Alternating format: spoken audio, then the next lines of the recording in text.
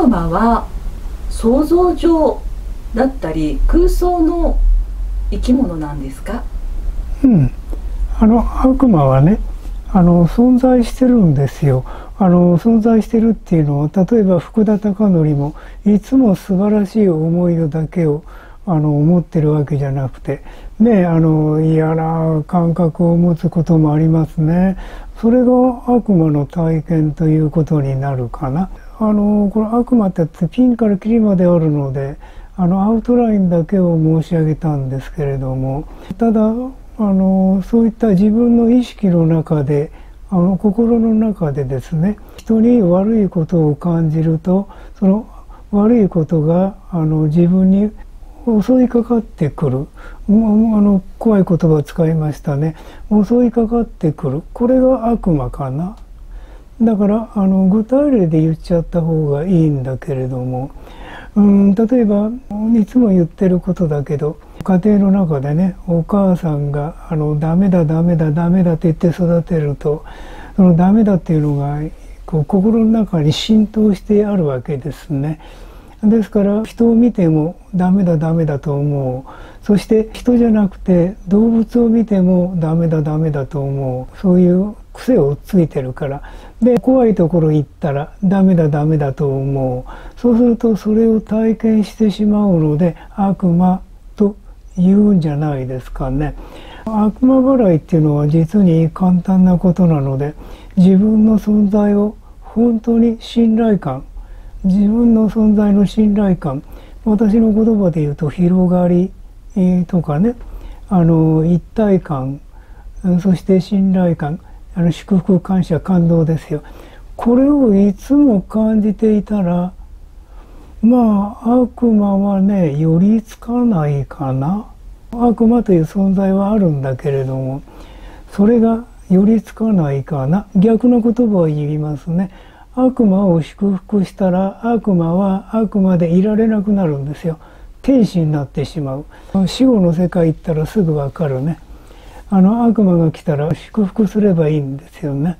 祝福するっていうと皆さんまたあの悪嫌な存在を祝福するのかと思うんだけどそうじゃなくて自分の中にある神の祝福を感じればいいだけかな。あそうするとね悪魔はね一瞬にして光になってしまうこういう体験は私はいっぱいしてるので悪魔はいないという立場を取るんですね。あの逆に言うとあの悪魔は前世かなんかで自分が選択してきて根性で例えば悪いやつだ悪いやつだって自分をこう言われ続けたとしたらあの自分悪魔になりますね間違いなく。それに対する対応っていうかねあのやっつけてやろう。あ脅かしてやろう。とこういうこと。そういった意味で悪魔いっぱいいますね世の中にね。脅かしたい人たちいっぱいいますね。逆に言うと無関心っていう人もいますね。これも悪魔ですね。あのこれ人を助けなくちゃいけない立場にいるのに知らん顔してるね。私には悪魔に見えるんですけどね。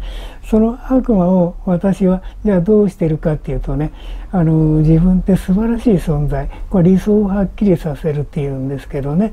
理想っていうのはこれもいつも申し上げてる。また繰り返すんだけどまああっさりと同じことばっかり言ってる。理想霊的な理想っていうのがあってね。あの自分の最高の存在。存在そのもの。要するに宇宙の存在はね。例えば神であると決めちゃったらいいんですよ。神がいるかなんかじゃなくて私たちが決めればいいんですね。あの最高の存在。これが霊的な理想っていうんですから神である。で神は必ずお働きになる。私たちがお願いするとすぐ働いてくれる。それが神だよね。と決めればいい。ということかな。それでその神の働きにこう感謝する。で今度感謝する時にありがとうありがとうよ。そうじゃなくて本当にこ体から体の心の底からあやってみせるからね。ありがとう。どうもありがとう。と言ったら悪魔は一瞬にして天使になる。本当やってみて面白いよ。昔話とかにも鬼が出てきたり、うん、あと聖書の中でもキリストが豚に入った悪魔を追い出したりとか、うん、お釈迦さんが悪魔からなんかいろいろ誘惑受けたりとかしてますけどそれは現実にいたものなんです。あの今の悪魔の話と同じでね、うん、要するに私たち理想をはっきりさせればですよ。私は神だから悪魔払いなんてのは簡単かな逆に言うと払わない払う必要がないから神としてあの自分っていうのは素晴らしい存在である。ね、このまんまで多くの人に栄光優しさ輝きを差し上げてる存在と自分を決めればいいですよ。あの皆さん神ってなんか自分の外にあると感じるもんだから神なんかいないじゃないのという話になる。もう自分が神だって決めたら神だね。もう間違いなく神だね。もう宇宙が始まる前から存在して光り輝く存在だからもう何回も何回も人間やってきて今例えば福田貴則として存在してる素晴らしいもう光り輝く存在なのでそれをはっきりさせればいいこれが霊的な理想ですよね。そして今もお話しているようにその霊的な理想は仕事をする。ね。これがあの例えば私があの霊的な理想は今と言ってますね。今の中に全てがある。過去現在未来はない。今しかない。これ神のことを今と言ってるんですね。で今のお働きと言ってるんです。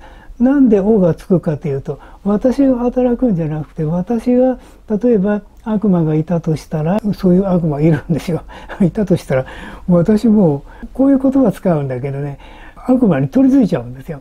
ものすごい光と言って感じて悪魔をこう見るとね光になっちゃうけどだから何て言うのかな神について考えることじゃなくてね感じる。これが心の理想で感じてそれをどうやって感じるかっていうのが肉体の理想なんですよ。ですからそれいつもはっきりさせておく。であの理想目的っていうんですね。それであの私はあの目的が世界中の人たちの心身を健康にするの目的だからこの福田貴則が何とか頑張ってじゃなくて今の働きが私を通してお役に立ってる。これを通してお役に立ってる。という感じなんだけどね。あのだからまあそれ言うと悪魔払いを実はやってんですね。始終始終やってるっていうかね。そういうお仕事の方がいらっしゃる。あのお祓いをするお仕事の方。あのその方に取りつかれる時があるんですね。それを私お祓いするんですよ。あのそんなことやってるから私はプロだから。